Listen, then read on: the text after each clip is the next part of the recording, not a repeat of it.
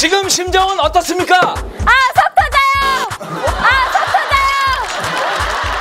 술을 너무 많이 먹고 속 불편하면 어떤 생각이 들어요? 토하고 싶다! 토하고 싶다! 밤새 스케줄에 시달렸을 때 어떤 기분인가요? 아, 피곤해! 아, 피곤해! 근거 없는 스캔들 기사가 됐을 때 기분은 밟았네!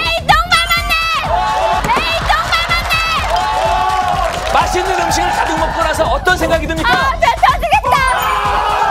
자, 공공장소에서 다른 사람에게 피해를 주는 행동을 살아보면 어때요? 아, 귀여워! 깨물어주고 싶어! 아, 귀여워! 깨물어주고 싶어! 아, 그래요. 자, 엘리베이터 안에서 방귀 낀 사람한테 뭐라고 해주고 싶어요?